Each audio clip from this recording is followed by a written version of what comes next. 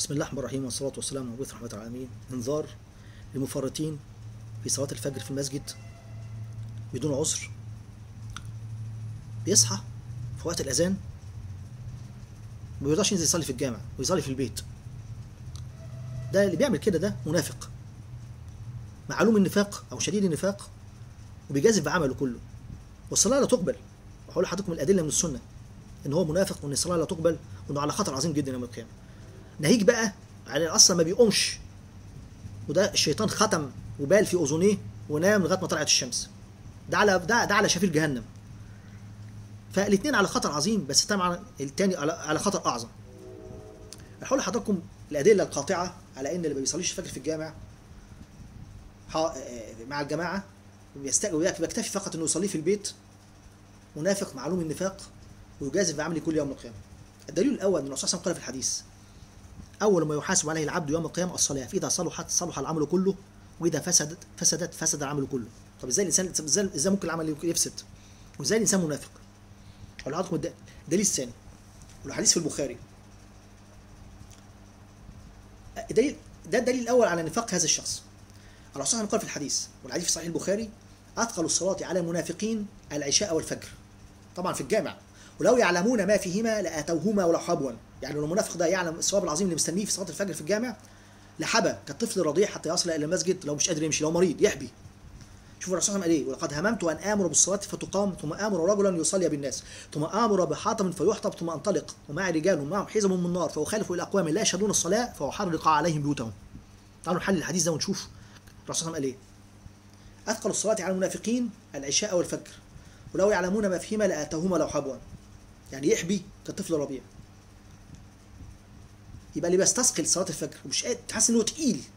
والشيطان منعه الشيطان منعه يروح يصلي في المسجد منافق. هقول لكم الدليل. الدليل الأول لو واحد قال لك لو واحد قال لك تعالى لي في, المسجد في وقت صلاة الفجر عشان تصلي الفجر معايا في الج... عشان تعمل لي عمل بسيط الناس هتصلي الفجر وانت هتعمل لي عمل بسيط. مدة العمل ده ربع ساعة. في نفس الجامع الناس بتصلي فيه الفجر. وهدي لك 100000 جنيه. هتروح ولا مش هتروح؟ مستحيل واحد يقول لي مش هروح. ولو واحد قال لي أنا مش هروح يبقى كذاب أو مجنون. ده أنت هتروح وده أنت ده أنت مش هتنام طول الليل ده أنت هتبات على باب الجامع. طيب ده ربنا بقى اللي بيقول لك تعالى. يعني ربنا بينادي عليك. وما بتروحش. طيب يبقى أنت بتوقر وبتحترم المخلوق ولا تحترم الخالق. طب بالله عليكم اللي يحترم المخلوق ولا يحترم الخالق. مش ده مش, مش, مش ده مش ده منافق؟ مش ده مرائي؟ مش ده نوع من أنواع الشرك؟ والعياذ بالله. ولما تفضل المخلوق على. مخلوق على الخالق يبقى إيه؟ وتفضل حطام الدنيا على الثواب العظيم مستنيك في الآخرة. صلاة فجر واحدة. ده دليل. أو دليل تاني إن أنت تتشبه بالمنافقين اللي كانوا عايشين أيام الرسول صلى الله عليه وسلم في المدينة ومن تشابه بقوم فهو منهم. كما قال الرسول في الحديث الصحيح. الرسول قال في الحديث الصحيح ليس منا من تشبه بغيرنا فلا تشبهوا باليهود ولا بالنصارى. فما بالكم بالمنافقين اللي كانوا عايشين في المدينة؟ ودول أشر من اليهود والنصارى. إن المنافقين يخادعون الله. وهو خادعهم. إذا قاموا إلى الصلاة قاموا كسالى. يرعون الناس ولا يذكرون الله إلا قليلا. مذبذبين.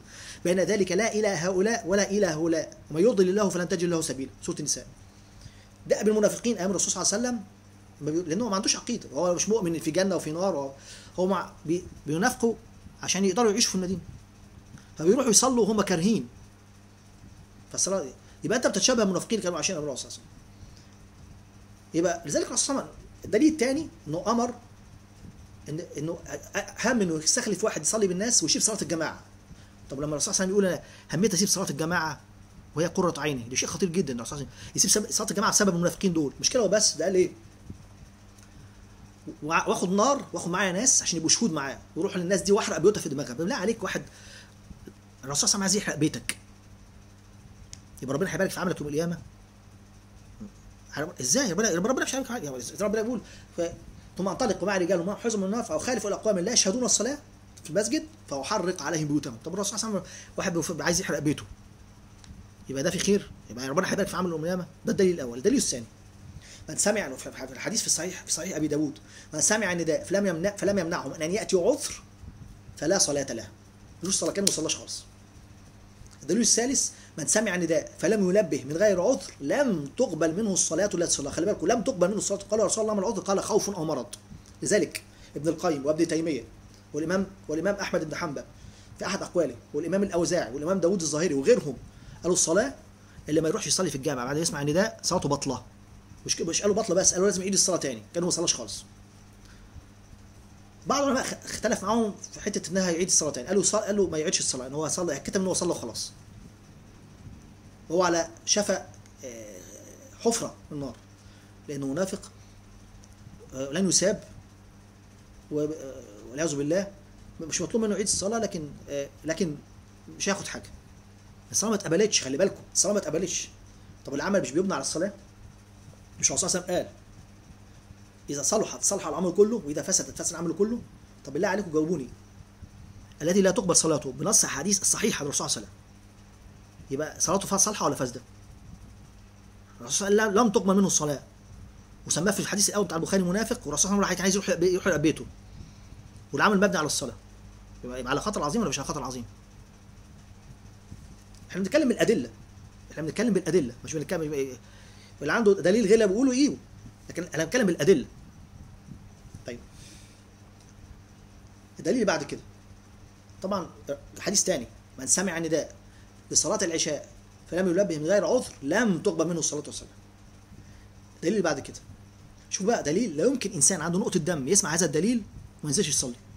إذا سمع الدليل ده وما نزلش يصلي يبقى أنا آسف يعني إنسان ليس فيه خير. إنسان ما عندوش يعني ما عندوش حياء. عبد الله بن أم مكتوم ذهب الرسول صلى الله عليه وسلم والحديث في صحيح مسلم وفي مسند الإمام أحمد. قال رسول الله أنا ضرير شاسع الدار عمي بصري ومعي غلام لا يلائمني. أو تجد أو تجد لي رخصة فأصلي في بيتي؟ قال له تسمع نداء قال نعم. قال لا أجد لك رخصة مالكش رخصة. خلي بالكوا ضرير شاسع الدار شاسع الدار يعني بيته بعيد جدا. كان بيته على بعد خمسة كيلومترات. كان بيمشي سيدنا عبد الله بن مكتوم وهو أعمى كان بيمشي خمسة كيلو الساعة 4 الصبح أو 3 الصبح في البرد القارس في أرض وعرة. أنتوا عارفين ارض طرقات المدينة كانت عاملة إزاي من 1400 سنة؟ عارفين عارفين عارفين عارفين الطين؟ ما كانش فيه أسفلت. عارفين الجو عامل إزاي؟ ومعاه غلام مش مريحه مش مش مرتاح معاه بيتسند عليه. ومع ذلك الرسول صلى الله عليه وسلم قال له لا لا أجد لك رخصة مالكش رخصة. الرسول صلى الله عليه وسلم أرحم خلق الله. ما فيش حد عنده رحمة زي الرسول صلى الله عليه وسلم ما عذروش. وأنت مبصر وعلى بعد 20 30 خطوة من الجامع وما تروحش عايز ربنا عايز ربنا يقبل صلاتك ويقبل عملك يبارك لك في عملك. يبقى انت على خطر عظيم ولا خطر عظيم؟ قالوا لا أجد لك رخصة. وفي رواية قال تسمع نداء قال نعم. قال أجب. قال فلبي نداء لذلك أنتوا عارفين صلاة الفجر في الجامع سببها إيه؟ إن بعض الناس ما تعرفش. صلاة الفجر صلاة الفجر في الجامعة واحدة تزود لك في مراسخ في الجنة مئات المليارات. مئات المليارات أو ربما آلاف المليارات. دي مبالغة. هقول لكم دليل من السنة. مئات المليارات من من الأميال في الجنة. يعني قد الكرة الأرضية دي كلها من أولها لآخرها 300 400 500 مرة. أقول لكم دليل من السنة. الرسول صلى الله عليه وسلم قال في الحديث من. من قام بعشر آيات في ليلة لم يكتب عند الله من الغافلين ومن قام ب 100 آية كتب من القانتين ومن قام ب 1000 آية كتب من المقنطرين. مقنطرون مقنطرون مقنطرون اللي هو بياخد قنطار كل كل ليلة. سيدنا معاذ بن جبل والحديث صحيح. سأل الرسول صلى الله عليه وسلم قال رسول الله وما القنطار يا رسول الله؟ قال القنطار 1200 أقية والأقية خير مما طلعت عليه الشمس. الأقية الواحدة بس أكبر من الكرة الأرضية كلها. مساحة الكرة الأرضية كلها نص مليار و66 مليون كيلومتر مربع. وأي واحد منا لو صلى طول الليل طول الليل ما نامش ممكن يصلي ب 10 ب 10 أجزاء مش ب 1000 آية بس.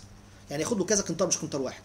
سيدنا عثمان بن عفان كان بيقرأ القرآن كله في ليلة واحدة. بيصلي ركعة الوتر بيقرأ القرآن كله من اوله لاخره في ليله مش بيقرأ 1000 آية. صلاة الفجر أعظم ثوابا من إن أنت تقف على رجليك طول الليل وتقرأ القرآن كله من الأول لاخره يعني أعظم ثوابا من إن أنت تاخد وأنا أجيب لكم دليل من السنة أهو وأقسم بالله على ذلك. سيدنا عمر بن الخطاب كان يقول لا أصلي الصبح في جماعة أحب إلي من أن أقيم ليلة كاملة. الكامله مش ليلة بس. الإنسان إذا صلى ب 100 آية دي كتب له قيام ليلة بيكتب له قنوت ليلة. 10 دقايق. لكن لو أنت صليت ب 1000 آية أو بالقرآن كله زي ما كان سيدنا عثمان بيعمل بتاخد قنطار أو مش قنطار واحد ربما ثلاث أربع قناطير. لأن كل 1000 يبقى قنطار. لا ده صلاة الفجر أعظم ثوابا من ذلك. يبقى اضرب بقى اضرب بقى ثلاث أربع قنطار في مساحة الكرة الأرضية يعني 3000 أو 4000 في مساحة الكرة الأرضية اللي هي نص مليار كيلومتر مربع. يعني حوالي 1000 1000 مليار أو 2000 مليار كيلومتر مربع. يعني بتزيد من راسك في الجنة من القصور والحور العين والولدان المخلدين ما لا الله. خسارة فادحة جدا جدا جدا. لذلك صلاة الفجر في الجامعة بقيام ليلة بحالها وبحجة تامة إلى بيت الله الحرام. لذلك اللي بيصلي الفجر 40 يوم ما يتخلفش يوم واحد ياخد براءة من النار. العلماء قالوا قالوا العلماء قالوا بيتولد من جديد لو واظب 40 يوم.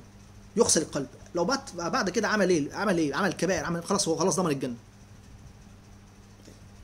الدليل اللي بعد كده. عبد الله بن مسعود كان يقول في الحديث كنا نعد المتخلف عن صلاتين من صلاة الجماعة منافقا معلوم النفاق. معلوم النفاق. مش مش منافق بس منافق شديد النفاق وكانوا وكنا إذا تأخر أحدنا عن صلاتين من صلاة الجماعة بدون عذر حتى ما بدون عذر أسأنا به الظن. يعني إيه؟ يعني يعتبروه منافق لما يموت ما يصلوش عليه. ما يصلوش عليه. يبقى ده, ده, ده كلام عبد الله بن مسعود. الدليل بقى اللي بعد كده شوف المصيبة الكبيرة اللي أنت هتضيع اللي, اللي بتحصل اللي ما فجر في الجامع. غير إن عدم غير عدم قبول الصلاة غير إن أنت منافق وغير وغير. بتضيع النور العظيم اللي أنت. هتمر بيه على الصراط يوم القيامة. الحديث حديث حسن. بشر المشائين في الظلم بالنور التام يوم القيامة. في رواية أخرى بالنور العظيم يوم القيامة. ماشيين في الظلم اللي هم إلى العشاء والفجر. النور العظيم. يعني هتعدي اللي معاه نور عظيم هيعدي على الصراط. الصراط ده بيضرب على بيضرب على متن جهنم. هو دق من الشعر وحد من السيف هتمشي عليه وأنت حافي وعاري. الصراط ده حول حواليه في كلاليب كشوك السعدان يتطاير منها شر كالقصر كأنه جمالات صفر. بيخمش الناس ويلسعهم. لذلك الصراط الناس على الصراط على ثلاثة اصناف ناج مرسل أو مار مخدوش أو هاو في نار جهنم. ناج مرسل دول دول الفرقة اللي هي مواظبة على الخمس صلوات في الجامع مواظبة على الفجر في الجامع هيضرب هيديله نور عظيم هيعدي كالبرق أو كلمح البصر. واصل إلى إن شاء الله إلى فردوس الأعلى. أو مار مخدوش دي الفرقه دي الناس اللي هي بتضيع صلاة الفجر في الجامع مش محافظة على الجماعة. هيبقى معاه نور ضعيف هيمشي على الصلاه يترنح. حاجة من الاثنين انه إنه يمن إنه يخمش ويلسع في الوجه وفي الكتفين وفي كل أنحاء الجسم ويصل متاخرا إلى الجنه ده إن وصل أو أو يكون من الفرقة الثالثه ويقع في جهنم والعياذ بالله. يبقى أنت هتحط نفسك في محنة وفي مصيبة كبيرة جدا يوم القيامة مش هتبقى مش هتبقى عارف تمشي على الصراط لأنك ضيعت منك النور العظيم اللي أنت هتمر بيه كالبرق. وهتخمش وتلسع من الكلاليب أو القنابل اللي تطلع من النار. وجهنم مظلمة. جهنم مظلمة شديد الظلمة مش هتعرف تشوف حتى كف إيدك مش هينفعك إلا النور بتاع صلاة الفجر. ضيعت منك النور العظيم. أقسم بالله هتبكي دما يوم القيامة. على كل صلاة فجر ضيعتها. ف عايز إيه أكتر من كده؟ فأنا هكتب لكم الكلام ده كله تحت الفيديو. انسخوه ونشروه يا ريت كل واحد سامعني دلوقتي يتقي الله. عشان ما عشان ما تضيعش عملك. وما تكتبش ما تبقاش تختم عند الله الموفقين والصلاة لا تقبل. وتحط نفسك في مصيبة كبيرة يوم القيامة. أنا هكتب لكم الكلام ده تحت الفيديو انسخوه ونشروه ماشي هذا العلم في ثواب عظيم ولعل علما فانه اجر عن يوم القيامة. لا انقل ذلك موجودين في شيء وشوش تفعيل الجرس واشتراك في القناه ليصلكم كل جديد وتساعدوني على نشر السنة الروايه أقول قولي هذا وأستغفر الله لي ولكم.